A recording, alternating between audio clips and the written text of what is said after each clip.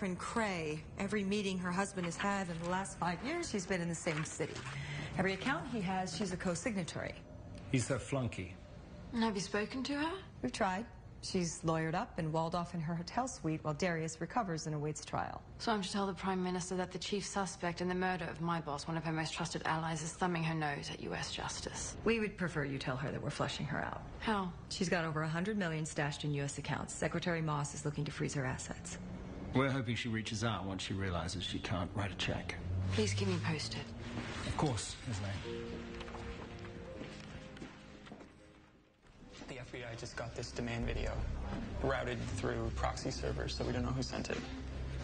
I'm Charlotte Thorne's aide. My name is Peyton Lane. I have been instructed by my captors that the American government is to extradite Darius Cray to Malaysia.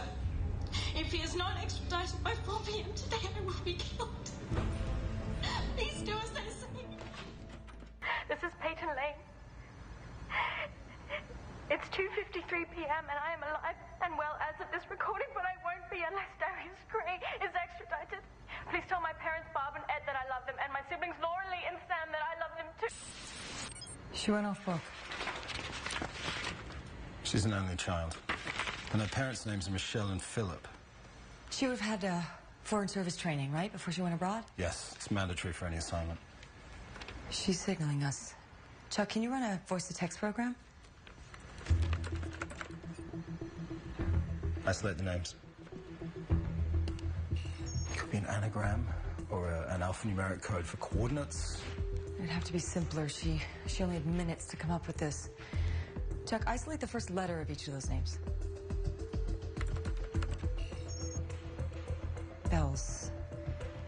Church bells. To meet churches in D.C., go with the place. Bells Road. There's a Bell's Drive. It's southeast.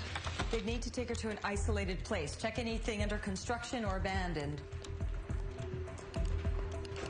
I got an abandoned apartment building on Bells and 13th. That would be the perfect place to. You're welcome.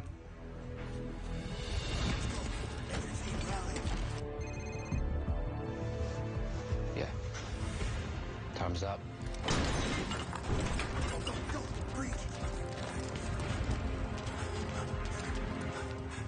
What do you want me to do? Yeah, alright.